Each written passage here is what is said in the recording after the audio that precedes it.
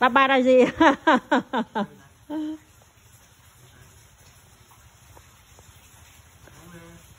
lãng mạn quá ha, đứng ở chợ ngồi ôm nhau với mưa rồi trời ơi, mưa bay bay rồi.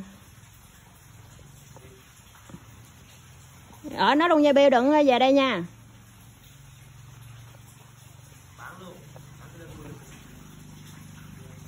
Đi theo chú nhân qua nhật luôn, đi theo chú lân qua nhật.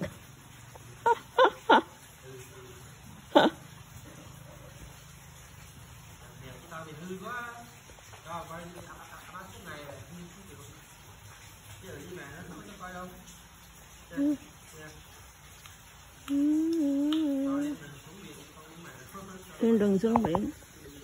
Nhìn cảnh đẹp mưa mưa sáng sớm